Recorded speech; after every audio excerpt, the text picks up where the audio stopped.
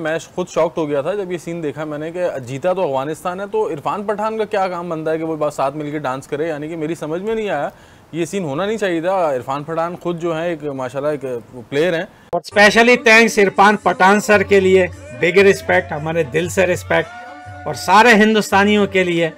हमारा अपना घर है, हमारे अपने भाई हैं, जिन्होंने हमारे साथ ग्राउंड में सेलिब्रेट किया और कर रहे हैं। और करते रहेंगे अगले वन वीक तक, जब तक पाकिस्तान घर नहीं जाता।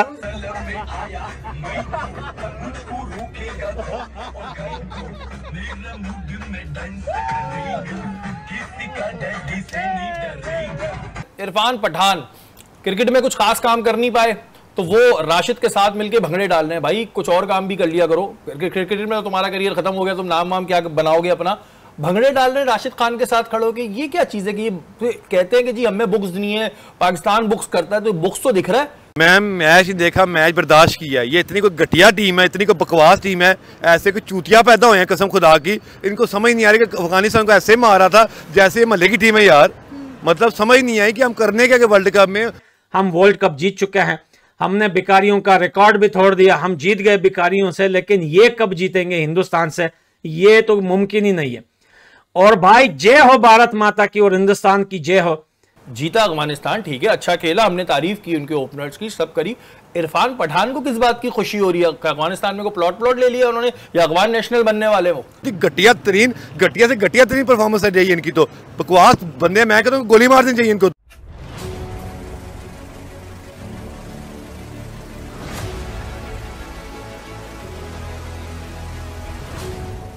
नमस्कार दोस्तों दोस्तों, आपको भी मानना पड़ेगा कि आईसीसी वनडे वर्ल्ड कप 2023 में अफ़गानिस्तान कमाल कर रही है। ऐसा लग नहीं रहा कि अब वो कोई छोटी टीम है, या उन्हें कोई आसानी से हरा सकता है। अफ़गानिस्तान ने पहले इंग्लैंड और अब चेन्नई में पाकिस्तान को हरा दिया, और जिस तरह से बाबर सेना को हराया, वो देखने लायक था। और इस जीत के साथ अफगानी टीम ने इतिहास भी रच दिया। अफ़गानिस्तान के मैच जीतने के बाद दोस्तों, ग्राउंड पर अफगानी टीम सेलिब्रेट कर रही थी और इसी बीच राशिद खान और इरफान पठान का आमना सामना होता है और वो दोनों नाचने लगते हैं। यह वीडियो सोशल मीडिया पर बहुत वायरल हुआ और इतना वायरल हुआ कि पाकिस्तानी मीडिया तक पहुँच गया। अब आपको पता ही है कि आगे क्या हुआ होगा। जी हाँ पाकिस्तानी मीडिया को मिर्ची लगी और ऐसी मिर्च की लाइव टीवी पर ही इरफान पठान के बारे में अनाप शनाप बकने लगे, क्योंकि भारत को पाकिस्तान की हार पर नाचते देखना पाकिस्तान भला कैसे सहन कर पाता।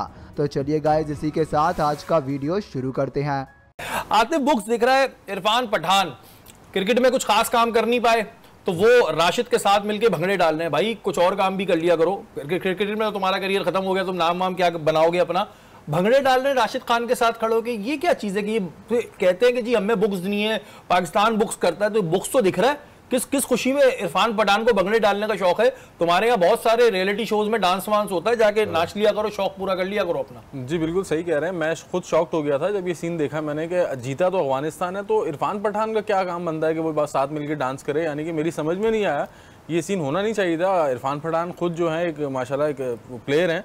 और ये चीज़ हरकतों से तो नहीं लग रहे। नसीम भाई आप क्या कहेंगे कि क्या था? कि मतलब जीता अफ़गानिस्तान ठीक है अच्छा खेला हमने तारीफ़ की उनके ओपनर्स की सब करी। इरफान पठान को किस बात की खुशी हो रही है? अफ़गानिस्तान में को प्लॉट प्लॉट ले लिया उन्होंने या अफगान नेशनल बनने वाले वो?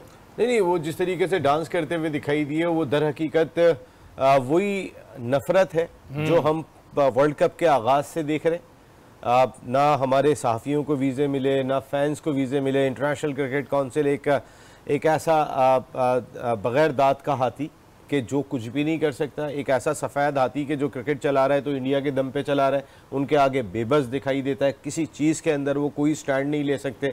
और स्टार्ट से ही अगर आप देखेंगे तो आपको महसूस होगा अभी हमारे एक दोस्त हैं सलीम खालिक वो आ, मैं उनका कॉलम पढ़ रहा था वो वापस आए। आ, उन्होंने बात कही। देखिए मैंने उन्होंने कहा कि जो मोहब्बतें हमने पहले देखी थी उस तरीके का माहौल दिखाई नहीं दिया और वो एक मैच कवर करने के बाद वापस आ गए। बहुत ज़्यादा रुके नहीं। हम लोग पूरा पूरा टूर कवर किया करते थे। तो हमारे जो सहाफ़ी गए हुए अल्लाह ताला उनको अपने हिफ्ज़ अमान में रखे क्योंकि ये तो इतनी बड़ी नफ़रत दिखाई दे रही है कि इरफान पठान मुझे याद है कि 2006 में इरफान पठान मेरे ख्याल है दूसरे तीसरे दिन खाना खाने के लिए बाहर किसी पाकिस्तानी क्रिकेटर कभी शाहिद खान अफरीद दावत कर रहे हैं।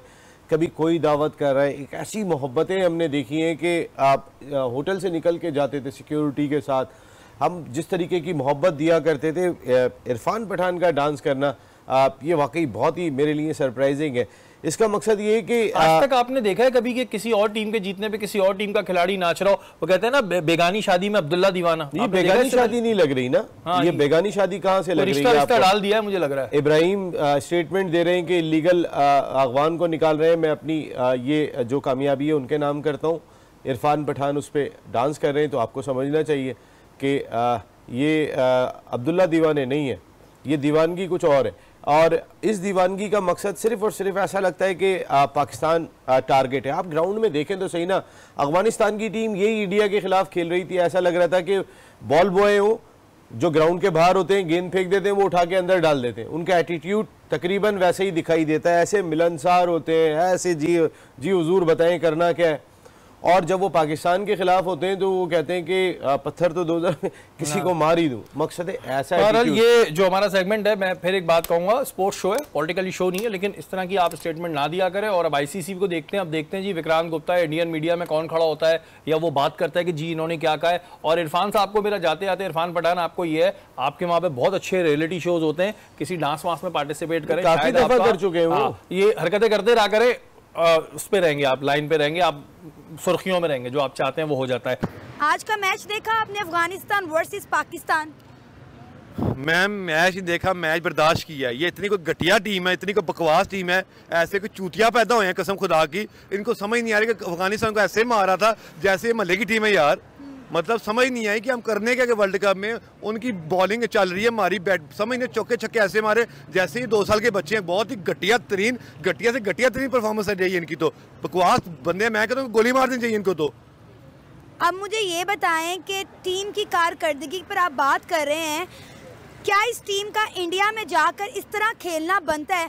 हमने इतनी उम्मीदें वाबस्ता की इन लोगों के साथ कि भाई सात साल बाद ये इंडिया जा रहे हैं कोई रिकॉर्ड बनाएँगे, कोई हिस्ट्री क्रिएट करेंगे, लगातार ये तीनों मैचेस हारते हुए आ रहे हैं, पहले इंडिया के साथ हारे फिर ऑस्ट्रेलिया के साथ हारे और आज अफ़गानिस्तान के साथ हार गए हैं जो आज तक नहीं हारे। मैं मैं पहले दिन से कह रहा हूँ जब आप बार बार मैनेजमेंट चेंज करोगे हाँ। तो टीम पे इफ़ेक्ट आएगा। आप कभी जक अशरफ को लेके आ रहे हो कभी आप नॉन एक्सपीरियंस आप चेयरमैन बैठा रहे हो फिर आप कभी कोचेस चेंज करो आपके प्रॉपर कोच नहीं है आखिरी दिन आपका सिलेक्शन वाला सिलेक्ट हो रहा है सिलेक्टर सिलेक्ट हो रहा है। आपने क्या टीम सेलेक्ट करनी है? आप तो बकवास ही खेलोगे ना। मैं तो पहले दिन से कह रहा हूँ कि जब एक मैनेजमेंट रहती है तीन चार साल लगते हैं वर्ल्ड कप की टीम बनाने में। और हम वर्ल्ड कप टीम के अभी भी नहीं बना पाए कि कौन अगले मैच में कौन पिछले मैच में। हमारे पास मैनेजमेंट नहीं है हमारे पास कोचेज नहीं है। तो हमने खा के परफॉर्म करना था। आज के मैच में आपको कहाँ कहाँ लगा कि ये भाई यहाँ पे मेजर गलतियाँ हैं इनको ठीक होना चाहिए? मैम फील्डिंग देख लें कैसे वो गिरते फिर रहे हैं बॉलिंग देख लें मुझे समझ नहीं आ रहा। ऐसी बॉलिंग तो हम भी खेल रहे हैं जिनको क्रिकेट भी खेलने नहीं आती। बैटिंग देख लें आप आउट हो रहे हैं वो भी आउट बॉलर्स हैं जो कि कोई बॉलर नहीं है चाहे बैट्समैन प्लस बॉलर्स हैं वो आपकी विकेटें ले रहे हैं। और साथ आप बैट बॉलिंग क्या कर रहे हो? आप वो निकल निकल के छक्के मारे हार वन फोर्टी शहजा ये तो मुझे हालात बुरे लग रहे हैं डोमेस्टिक भी नहीं चाहिए जगह मिले खेलने की तो। मुझे ये बताएँ क्या अब हमारी टीम सेमीफाइनल में जाना डिजर्व करती है? और मैम ये तो गटर में जाना डिजर्व करते हैं। इनको तो वहाँ से धक्के मार के निकालना चाहिए। इंडिया को खुदा के लिए खौफ कर निकलो यहाँ से। तुमने गल फैलाया हमारा खर्चा करा रहे हो स्टेडियम्स का। कसम खुदा की। मैचेस का खर्चा करा के ना पैसा डाल रहे हैं इंडिया अपने सिर पे। और कुछ भी नहीं है। क्या करना चाहिए ऐसी टीम के साथ? गोली फैर सीधे फैर। खड़ा करके बारह ने बारह ने मारो। कदम खुदा के नए लड़के लेके आओ। आप डोमेस्टिक खेलो मज़ाक अपनी जगह। आपका बाबर आज़म से लेके आपका शेन अफरीदी वापस डोमेस्टिक में जाएँ। वो खेलें पचास पचास ओवर इनको खेलने नहीं आते इनमें सांस फूल जाता है इनका तो। ये सब चार चार ओवर करने के आदि रह गए इनको डोमेस्टिक खिलाएँ इनको टेस्ट मैचेस खिलाएँ। पूरी टीम को डोमेस्टिक क्रिकेट दस दस मैचेस खिलाएँ एक महीने में। अरे हम तो कह रहे थे कि हमारी टीम वर्ल्ड कप जीत कर वापिस आएगी। मैम जीत के ही आ रही है लेकिन सिर्फ़ जूतियों वाला कप लेके आ रही है ना। इनको जूतियों वाले कप मिलेंगे अब। आप यकीन करें इतनी सेल्फिश क्रिकेट इतना सेल्फिश बाबर आज़म कि यार आप इबरार को लेके उस जमान लगे अब एक, चलो एक इंजरी कर दो, चलो रिज़र्व थे। एक फेक इंजरी कर दो, अपनी टीम बचा लो। आप शदाब को लेके नवाज़ को बिठा रहे हो। क्या परफॉर्मेंस किसकी परफॉर्मेंस है? किस बेस पे आप मुँह दिखाओगे? क्या कोई हमारी परफॉर्मेंस कहाँ बेस आपसे बॉलिंग बॉल नहीं पकड़ी जा रही। ड्यू फैक्टर सलाब थोड़ा आ गया था। ड्यू ही थी ना। समय से बाहर है कि क्या परफॉर्मेंस रही है।